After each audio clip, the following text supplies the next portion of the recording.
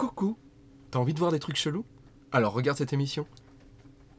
Regarde, regarde ce que j'ai. C'est un jeu Famicom sur Korbatchev, Korbatchev Pipeline. C'est un Tetris en Russie où il y a des pipelines et tu dois faire passer de l'eau pour Korbatchev. Reste avec nous.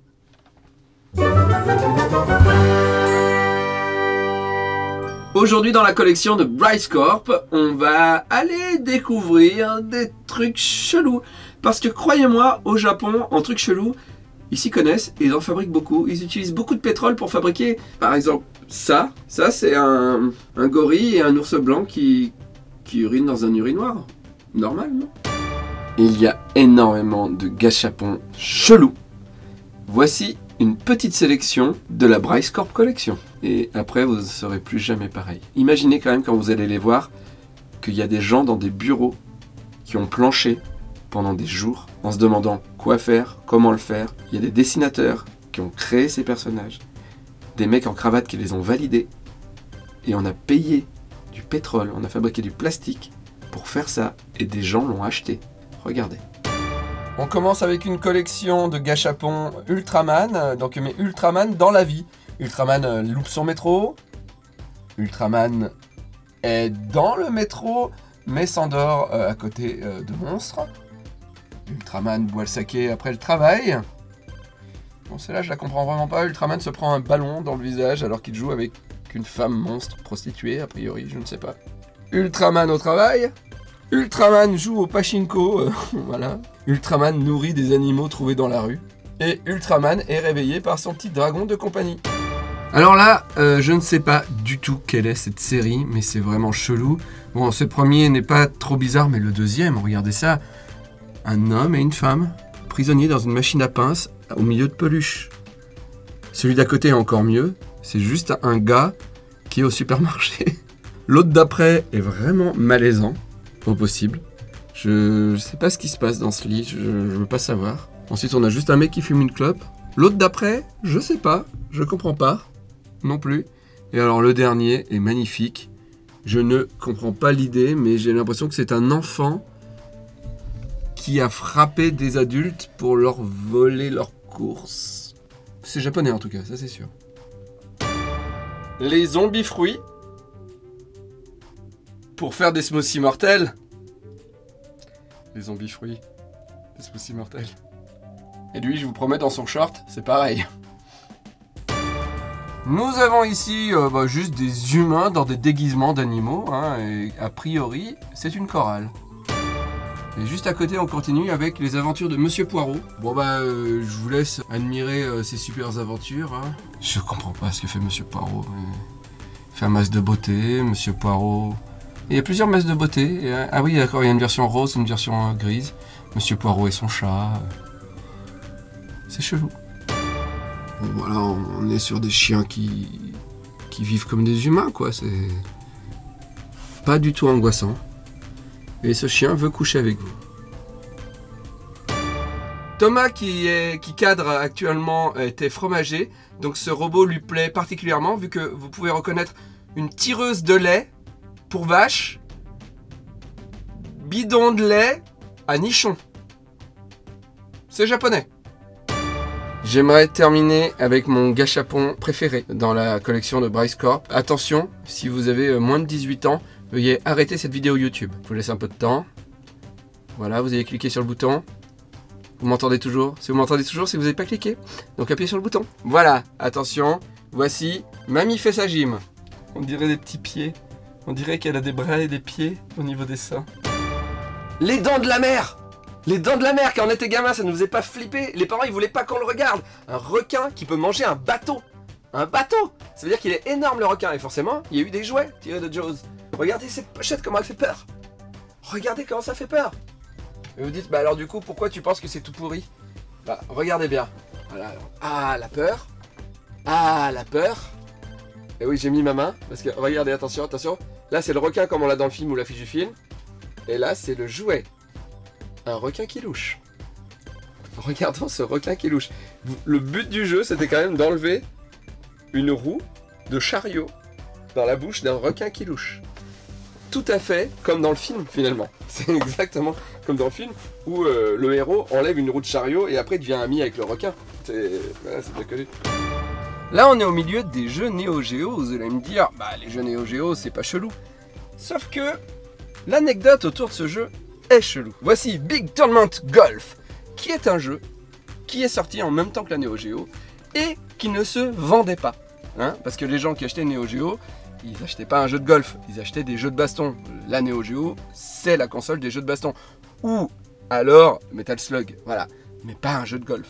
Du coup, ce jeu traînait chez les vendeurs de jeux vidéo et ne se vendait pas. Et les jeux étaient rangés comme ceci, avec la tranche qui était vers le soleil. D'accord? J'arrive à mon histoire. En fait, ce jeu, la tranche jaunissait par le soleil. Et donc aujourd'hui, il est très très rare de trouver Big Tournament Golf, j'ai oublié le titre, Big Tournament Golf, sans cette face jaunie. Et donc le jeu coûte des milliers et des milliers d'euros s'il n'y a pas la face jaunie. Et bien sûr, Bryce Corp a le jeu sans la face jaunie. Il y a un truc qui faisait rêver les gosses dans les années 80. Ça a duré deux ans, je dirais. C'est un truc, peu de gens s'en rappellent. Et j'ai halluciné de trouver ça dans la collection de Bryce Corp. Il a le Barcode Battler. Chez certains, ça doit faire genre Wouah Et chez d'autres, bah, quoi Code barre La bataille des codes barres Mais qu'est-ce que c'est? Là, a priori, euh, c'était une version collector avec euh, spécial Gundam. Il y a des cartes Gundam à l'intérieur. Mais il n'y a pas que Gundam, par exemple. Il y a des cartes Barcode Battler Zelda. Il y a des cartes Barcode Battler Mario. Ou même Dragon Slayer. Toutes les licences y sont passées. Je vous montre l'appareil. Voilà comment ça se retrouvait dans la boîte. Comment ça se jouait? Ça se jouait à deux.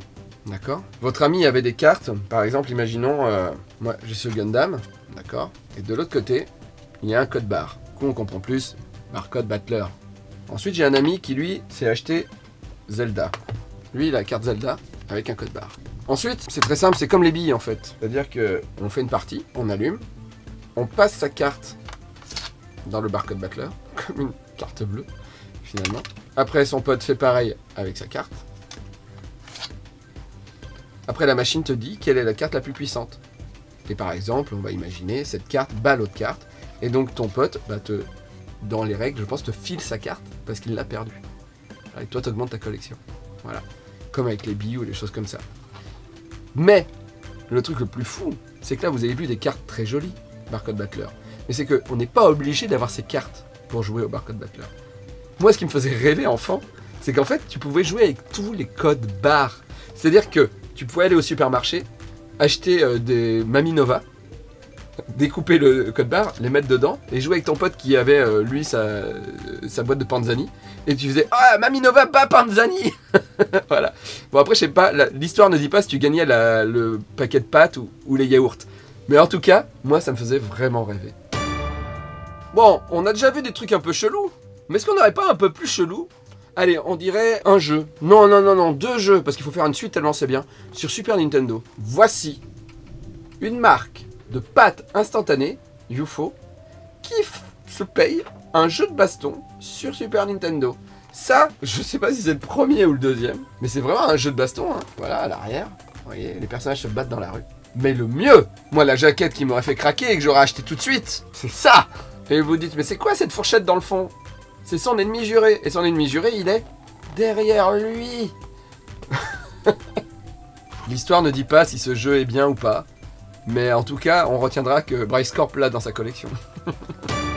Autre jeu un peu chelou qu'on peut trouver sur Super Nintendo, c'est un jeu pachinko. Et donc forcément, on n'est pas obligé de plaire aux plus jeunes. Donc du coup, on peut mettre un- une personne âgée. Au sommet de leur Nintendo a accepté de sortir sur la console un jeu de Camelto. Oh, je déconne, hein. c'est pas un jeu de Camelto, c'est un jeu avec un chameau.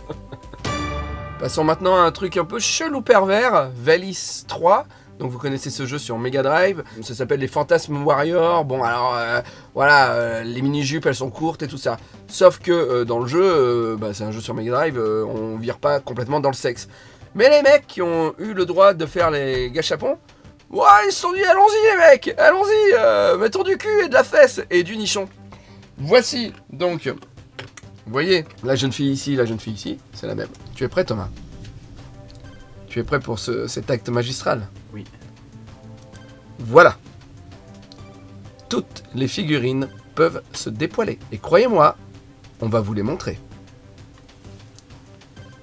J'ai jamais été aussi vite pour enlever un soutien-gorge, je crois. Elle, c'est un peu plus compliqué. Laissez-moi un petit peu de temps. Ah, faut être fan de Mega Drive. Hein. Et pour terminer, la jeune fille qui dort. Ça, c'est encore pire. Parce que cette jeune fille dort, et donc je vais lui enlever ses vêtements pendant qu'elle dort. Je pense que je pourrais finir chez les flics pour ça. Précise qu'il ne faut peut-être pas le faire. Il ne faut pas le faire. à part si c'est un jouet, bien sûr. Et encore, c'est chelou. Est-ce qu'on peut la regarder de l'autre côté? Parce que je crois que c'est de l'autre côté que ça m'excite le plus.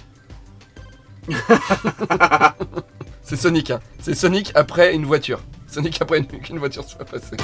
Et quoi de mieux pour terminer cette vidéo sur les trucs chelous que de terminer avec Saddam Hussein? Voici le jeu méga CD de Bill Clinton et Saddam Hussein. Une super simulation de politique intérieure. de politique extérieure déjà, et pas du tout. En fait, c'est un jeu de guerre, mais euh, les mecs se sont payés l'image de Bill Clinton et Saddam Hussein. Et je crois que là, on est, on est au top. Avec en plus les inscriptions japonaises devant, j'ai envie d'avoir le poster dans mes toilettes, personnellement. Voilà, merci euh, de nous avoir suivis. À bientôt. N'oubliez pas de suivre Bryce Corp euh, sur Instagram. À très vite. Ciao. J'ai rien à dire. T'as rien à dire? Rien à dire. À part que je sais où je vais me le mettre. Allez, mets-moi un bon gros pouce bleu, abonne-toi à ma chaîne et touche-moi la cloche pour louper aucune vidéo. Et si tu as envie qu'on se penche sur un sujet précis, que ce soit console de jeu ou jouet, demande dans les coms. Allez, bisous